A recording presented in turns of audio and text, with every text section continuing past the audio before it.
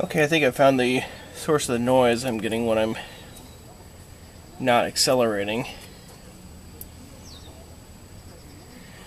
The spider gears appear to be a little loose.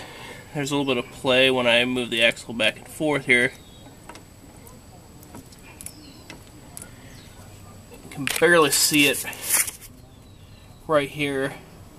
I think the uh, I think the bearing around that pin there is a little loose. I'll try to zoom in here and see if I can get the motion here. As I rock the wheel back and forth.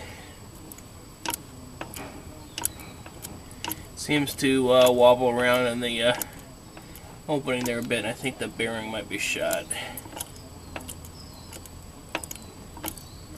And the other side's doing the same thing as well. If I uh, spin it around. To right here. You can see the same type of motion. I can get it to move without the yoke moving there. It's hard to see though if I can't hold the camera very still, but I believe that's the problem.